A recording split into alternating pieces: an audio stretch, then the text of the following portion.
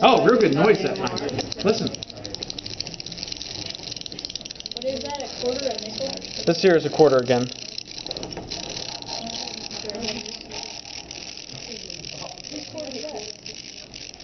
Sorry, could you put two in there and then have them rattle together?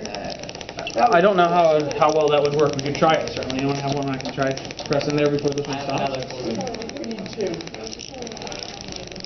We need two. See if we can do it that one warms up too much. Or cools down too much, I should say. Not, not quite. Ah, frozen. So we put it like under hot water. I don't have any hot water in this room, otherwise I I'll could. hold on to it. There's a whole bunch of quarters this label, Scott. I'm holding on. What's that? It could be down. Oh, 50 cent piece. Oh, I gotta try. it. I gotta try it. over a dollar, dude. Oh. Gotta try this.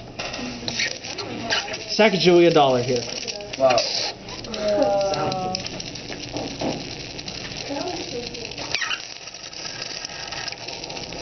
You make a whole orchestra of those things.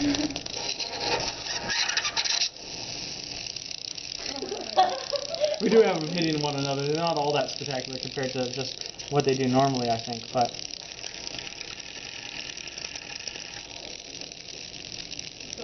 and again, yeah, it's just the gases trying to escape there as it sublimes right there. And the reason that it happens more vibrations here is because the quarters are good conductors. They're actually sending their heat into the dry ice. They're not taking the cold from the dry ice, but heat goes from hot down to cold.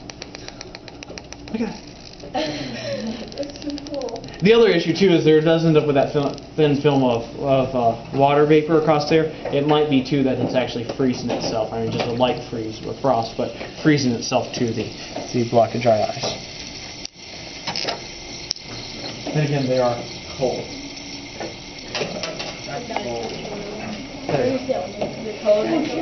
That's frost